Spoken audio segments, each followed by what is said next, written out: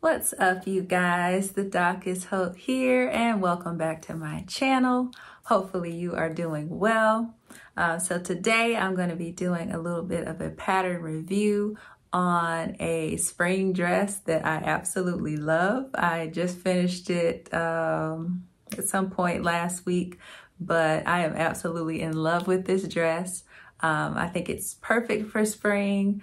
Um, the fabric that I chose, I think is, is going to be just great to transition from spring right on into summer.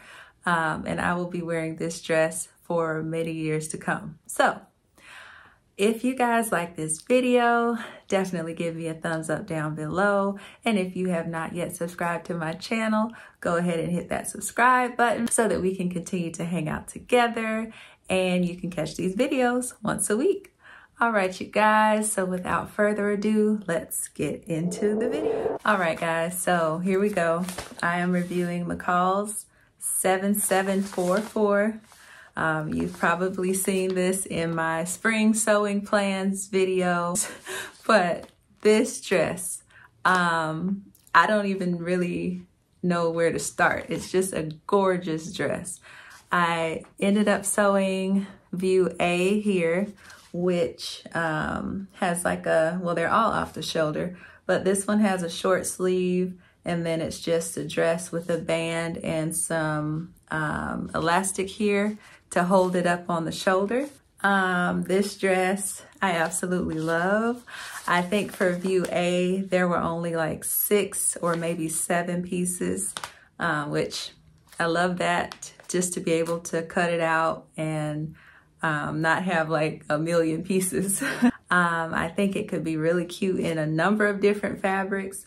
Um, I actually use seersucker, which I have a little piece of it here just to show you guys. I use this blue and white, light blue and white seersucker. It's got a little texture to it um, because it's light and it's airy and to me it just screams spring. And I also use just regular white thread. Um, I use polyester, yeah, 100% polyester white thread. And you can't see the thread um, on the outside of the garment. So white went well with that fabric. So there weren't a whole lot of steps to putting this pattern together. Uh, like I said, there were, oh, there were actually five. So just five pieces, pattern pieces to cut out because the front and the back, um, the front was actually cut on the fold. So that was just one big piece. And then the back was cut out twice and sewn down the center back seam. Um, yeah, so, you know, I felt like the putting together of this pattern was not extremely difficult. It came together pretty quickly once I actually started it and there weren't too many things that were confusing. Um, the one step that I did find a little confusing was the finishing, which is around step, let's see, 39 when it has you um, do something with the sleeve and the and the band that goes on the front of the dress. So this little part right here, this band attaching to this sleeve, it was a little tricky um, the first time, but then I read, reread and reworked it and it turned out great. So if you're going to sew this dress, just keep that in mind um, to take a little extra time when you get to that last finishing step, just to make sure that your band and your sleeves turn out correctly. Um, let's see, what else about this dress? There was some interfacing, not a whole lot. Only one piece was interfaced, which is piece number one, which was the front band. So this part that goes across here was interfaced. And that just gave it, um, you know, that extra thickness and stability right there at the top, which really, really turned out nice. So overall, I really enjoyed this pattern. I loved making this dress. Um, like I said, with that seersucker fabric, I will put a picture of the dress here for you guys to see how that turned out. Um, I was concerned about the length of the dress. I think I told you guys that last time, but it turned out really well. Um, it, it is one of my shorter dresses, but I'm okay with that. I probably won't wear it without my husband around. But um, I really like it. It didn't make me feel like it was going to fly up or away in any way. I felt secure in my dress. so um, I thought the length of it was good. Um, if you are taller than me, I'm 5'9". If you're taller than me, you probably want to lengthen it using that line um, in the middle to add a little bit of length to it. But if you're, you know, five, eight, or or below, unless you don't like a, so, a short dress, then you should be fine. So the fabrics that they suggested you use are cotton blends, gingham, seersucker, and shantung. That's where I got the idea to use my seersucker, um, and that turned out really well. The only notions that you needed if you were sewing view A uh, were three fourths of a yard of one inch elastic for the sleeve bands.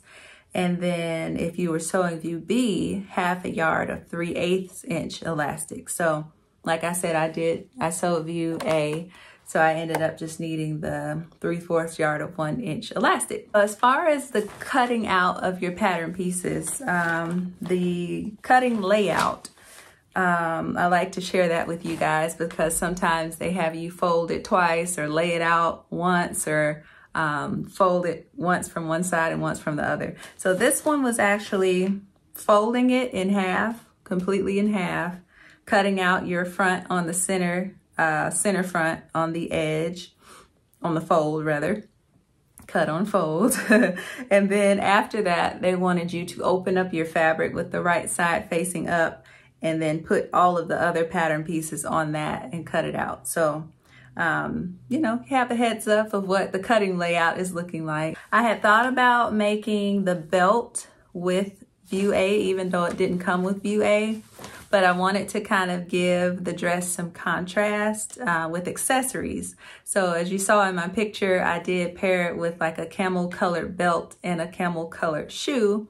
And I felt like not only did it cinch the waist, but it actually added um, just an extra element of interest and just some different color in there to to just kind of give it some contrast. So if you want to make the belt with view A, go for it. Um, but if not, that's another option just to add some, some other accessories. So I think the next time I make this pattern, I think um, if I make this pattern again, even though I love it, um, I think I would make view A again in a different fabric just because out of all of them, this one speaks to me the loudest and this is my style more so than any of the other ones. Um, so I'd love to see it in um, a different fabric just to see, you know, how that turns out and what that looks like. Um, another thing that I loved about View A is that on the back, and View D has it as well, but View A, if you can see, let's see, I always have issues focusing.